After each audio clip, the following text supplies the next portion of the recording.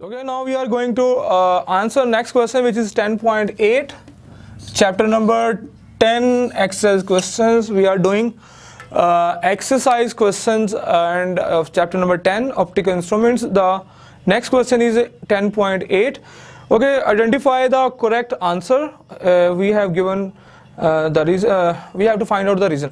The first statement the resolving power of compound microscope depends on the resolving power of compound microscope depend on option A length of microscope option B length the diameter of the objective lens option C the diameter of the eyepiece option D the position of the observer eye with regard to the eye lens the resolving power of the compound microscope बच्चों resolving power are वो किस पर depend करेगी?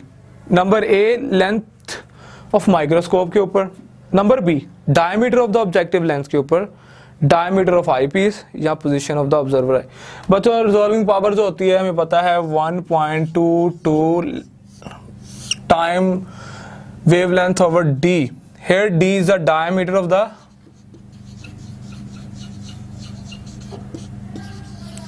objective. So D is the diameter objective. So in this relation you can find out the correct answer. Correct answer for part 1 is B. Diameter of the objective.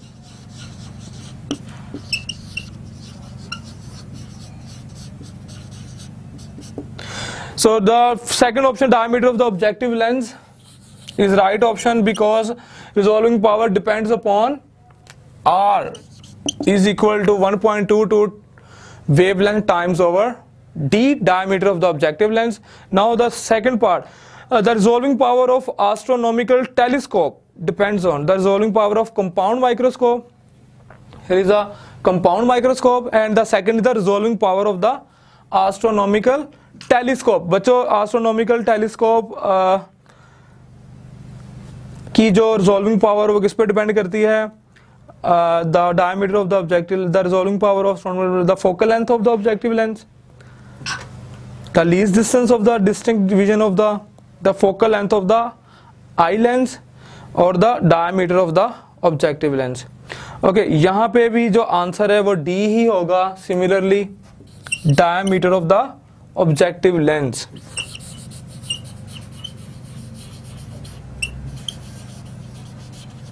दोनों का answer same ही है objective length की diameter जितना बड़ा diameter होगा उसका, उतनी ज़्यादा उसकी फोकल लेंथ होगी, उतनी ही ज़्यादा वो लाइट को कलेक्ट करेगा, उतनी ही ज़्यादा उसकी शार्पनेस ज़्यादा होगी रिजोल्विंग पावर ज़्यादा होगी। ओके बच्चों the next question is 10.9 in 10.9 is जो क्वेश्चन जो किया गया है, उसकी हमने डायग्राम्स बनानी है और उसमें थोड़ा सा एक्सप्लेन करना है। Question number 10.9 10.9 Draw sketches showing the different light paths through a single mode and multi-mode fiber. Why is the single mode fiber preferred in telecommunication? But so the answer of this question you can find out in our lecture number 10.10.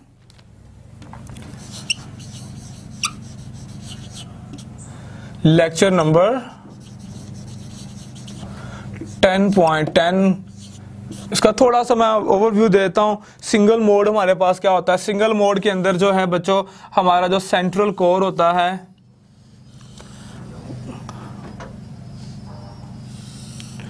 ये central core है, जो मैं highlight कर रहा हूँ। ये thin होता है। थिन से मुराद है, इसकी डेंसिटी जो ज़्यादा तो होती है, लेकिन इसका साइज़ होता है एज कंपेयर टू ये क्लैडिंग है, साइडों पे। और ये कोर है। जो कोर होता है, वो थिन होता है। हाईली डेंस होता है, लेकिन थिन से मुराद उसका साइज़ कम होता है as compare to the with कह लें आप जो भी है। उसकी ये जो क्लैडिंग की नस्बत जो है, उसका साइज़ कम होता है। उसमें से मोनोक्रोमेटिक बीम जो लेजर से ट्रांसमिट किया जाता है, वो हम यूज़ करते हैं। ठीक है जबकि हमारे पास जो मल्टी मोड होता है, वो मैंने ड्रॉ भी किया था, तब भी, अब भी थोड़ा सा उसका ओवरव्यू दे देता हूँ। मल्टी मोड के अंदर।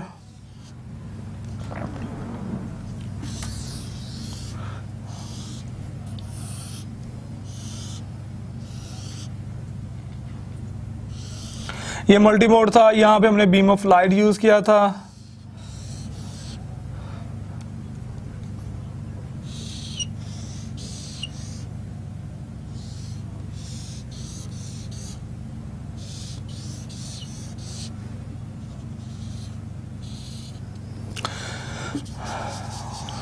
ओके okay, बच्चों ये मल्टी मोड था। इसकी डायग्राम मैंने बना भी दी है। और इसके अंदर ये क्लैडिंग होती है, इसको एन टू कहते हैं रिफ्रैक्टिव इंडेक्स और इसका एन वन होता है।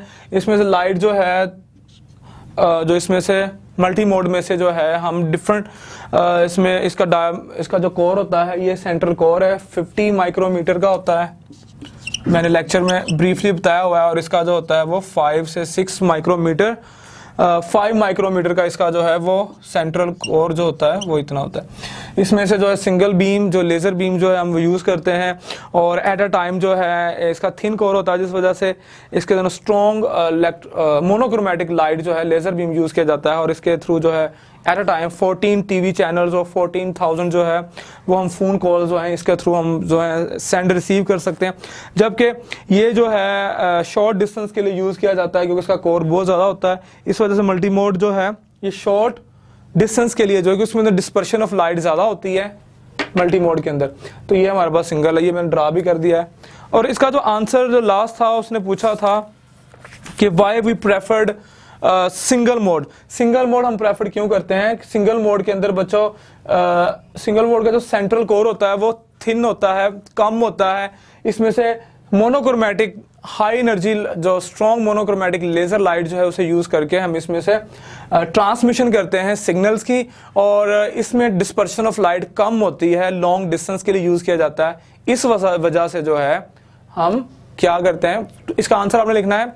Single mode is preferred because in this mode single mode index fibre the dispersion of light is minimum और the transmission length is maximum we can send and receive 14 TV channels and 14,000 phone calls at a time but in case of multi mode this is use for short distance because uh, in this multi-mode index fiber uh, dispersion of the light is maximum therefore we prefer single mode index fiber okay, बच्चों हम कर रहे हैं chapter number ten के exercise के question next question जो है ten point ten है टेन पॉइंट कि how the light signal is transmitted through the optical fibre I repeat how the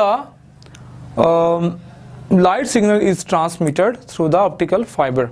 बच्चों ट्रांसमिशन ऑफ़ द या transmission principle of the transmission हमने optical fibre पढ़ा था।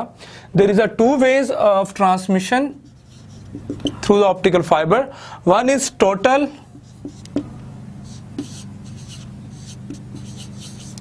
internal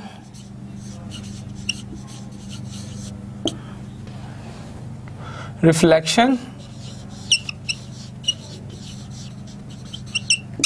And the second way is okay total internal reflection by cladding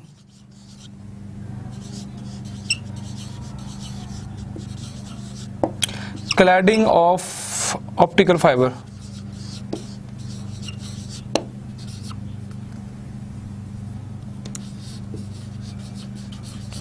okay okay, बच्चों एक phenomena ये होता है transmission of the transmission of the signal is done by total internal reflection by the cladding of the optical fibre जो cladding part होता है, वहाँ से टोटल इंटरनल रिफ्लेक्शन होती है। Second is continuous refraction continuous refraction by core of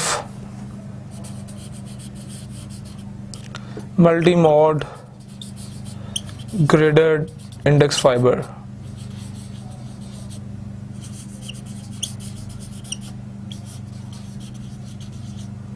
Okay, this has happened uh, in multi-mode graded index fiber uh, continuous refraction. So there is a two phenomena which are mutually uh, correlated while uh, the transmission of the signal through the optical fiber, total internal reflection by cladding, continuous refraction by the core, which is actually happened in the, which is prominently happened in the multi-mode graded index fiber. Okay students, uh, we are going to answer next question which is the last question of the exercise of chapter number 10 optical instruments.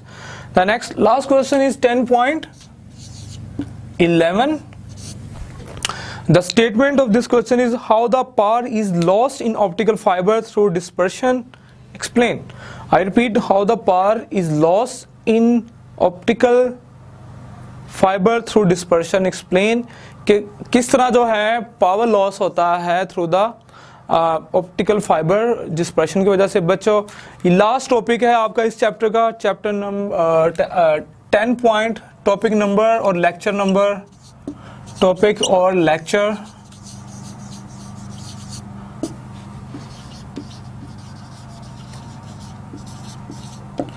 Ten point twelve क्योंकि हमने अपने lectures को इसी तरह organise किया हुआ है, जिस तरह आपके टॉपिक्स हैं। बुक के अंदर आपकी जो पंजाब टेक्स्ट बुक बोर्ड की बुक है F S C part number one part one की, उसके जो टॉपिक नंबर होता है, वही हमारा एक्चुअली लेक्चर नंबर होता है। अगर आप हमारे जो साइट पे जाएँगे, वहाँ पे अगर आप फाइंड आउट करना चाहते हैं आपका रिक्वायर्ड टॉपिक रिक्वायर्ड सोल्यूशन तो आप क्या करोगे? आप अपनी बुक खोलो, उस बुक पे जो टॉपिक नंबर है, आप उसकी डिस्क्रिप्शन लिखो वहाँ पे तो आपको एज इट इज़ जो है, वही लेक्चर आपके सामने आ जाएगा, उसी टॉपिक के रिलेटेड तो ये टॉपिक हमारा था लॉसेस ऑफ़ पावर के साथ। तो इसी के अंदर जो है, मैंने सारा ब्रीफली एक्सप्लेन किया हुआ है लॉसेस ऑफ़ पावर तो इसका आंसर मैं थोड़ा सा बता भी देता हूँ। जो उसने पूछा है how the power is loss in the optical fibre when we use the non monochromatic beam of light जब हमारे पास बोनोक्रोमेटिक बीम ऑफ़ लाइट नहीं होता, तब क्या होता है? अ सिंगल वेवलेंथ बीम जो होता है, वो ऑप्टिकल फाइबर के अंदर जो है, वो डिस्पर्स होना शुरू हो जाता है। जो हमारा ऑप्टिकल फाइबर होता है एक्चुअली उसकी ये क्लेडिंग आ गई। ठीक है? इसमें जैसे एक सिंगल बीम हम जैसे ही इंसर्ट करते हैं तो ये सिंगल बीम एक्चुअली स्प्लिट हो जाता है दो तीन वेवलेंथ के अंदर। ओके सो ये सिंगल बीम जो है, जैसे ही एंटर होगा, मैंने थोड़ा सा यहाँ बना दिया यस जैसे ही ये एंटर होगा तो ये स्प्लिट हो जाता है different wavelength bundle of wavelength के अंदर, और वो वेवलेंथ जो होती हैं, वो डिफरेंट टाइम के साथ जो हैं, वो अप्रोच करती हैं डिफरेंट उनके दरमियान जो है लैब डिस्टेंस जो लैब इंटरवल आ जाता है, उनके दरमियान टाइम डिफरेंस आ जाता है। जो वो अदर एंड पे रिसीव होंगी तो एक पहले रिसीव हो जाती है, एक बाद में रिसीव होगी, और एक उसके बाद में।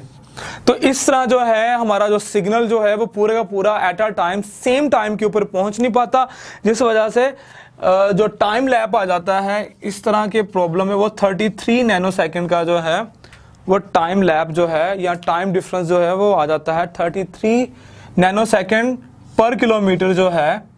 हर एक किलोमीटर के ऊपर जो सिग्नल रिसीव होना है, वो 33 नैनो सेकेंड के साथ होगा। तो हमारा जो डेटा जो है, वो कंप्रीहेंसिवली जो है एक्यूरेटली जो है हमें रिसीव नहीं हो पाता। ये आपका लास्ट टॉपिक है, उसके ऊपर इसका आंसर भी लिखा हुआ और मैंने लेक्चर भी डिलीवर किया हुआ है, इसके ऊपर। वो आप देख सकते हैं।